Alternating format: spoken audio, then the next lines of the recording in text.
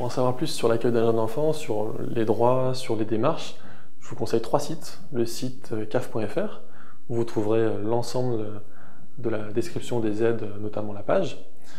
Un deuxième site de la CNAF qui est monenfant.fr, mon-enfant.fr, où vous trouvez de l'information sur l'ensemble des modes de garde, sur aussi les modes de garde près de chez vous, en fonction de votre, votre adresse.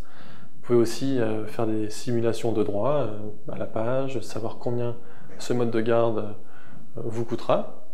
Et un dernier site qui est netparticulier.fr, net-particulier.fr, qui est un site euh, élaboré par la CNAF, euh, différents ministères, Pôle emploi, etc., pour euh, tout savoir sur l'emploi entre particuliers.